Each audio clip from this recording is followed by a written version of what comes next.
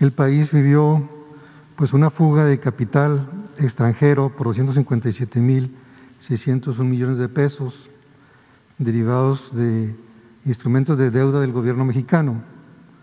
Suman ya 514.839 millones que salieron en dos años y que va directamente o pega directamente a la deuda mexicana.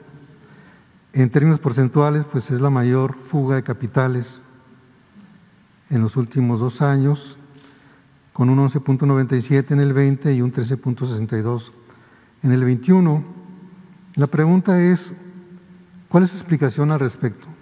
Bueno, yo reitero que las finanzas nacionales hay estabilidad en las finanzas nacionales que si bien hubo un eh, repunte inflacionario hacia fin de año, hacia noviembre, como ya se señaló, pues se ha venido recuperando eh, eh, o se le ha ido ganando, ha venido disminuyendo la inflación en el país, sobre todo inició en los primeros días de diciembre ya una baja.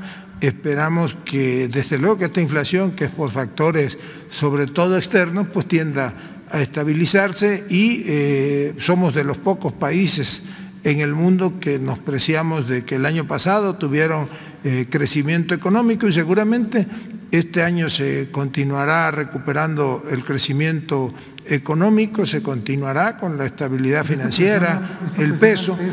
¿Perdón? Esto presiona el peso y seguramente va a traer repercusiones, ¿no? Bueno, lo presiona y no lo presiona. ¿Cómo, cómo, cómo? Le voy a explicar.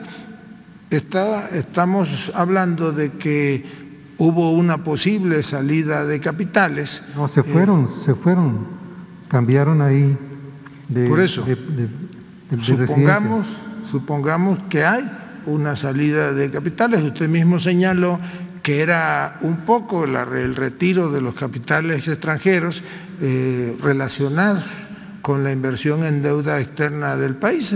Recordemos que eh, este gobierno no ha incrementado la deuda externa, pues debe de ser el retiro de las ganancias de todos esos fondos que este, mantienen inversión en el mercado de deuda nacional, pero repito, pues las finanzas eh, del país están estables, hay recuperación económica, eh, el peso se mantiene estable, nunca de los últimos 30 años, pues es el, gobierno en el que ha tenido la menor devaluación este, nuestra moneda. Eso es una señal de confianza de los mercados extranjeros y de los inversionistas nacionales en eh, la buena marcha de la economía del país.